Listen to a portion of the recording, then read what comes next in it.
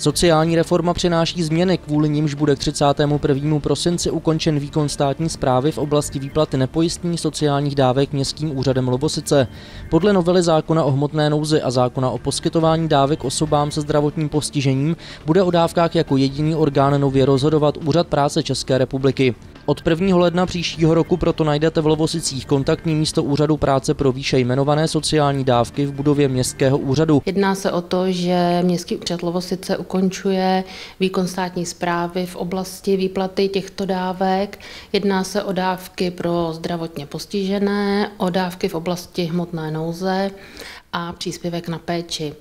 Nově tyto dávky bude od 1. ledna 2012 vyplácet Úřad práce České republiky a jeho kontaktní místo najdou občané v budově městského úřadu v přízemí, kde v současné době je výplatní místo dávek hmotné nouze.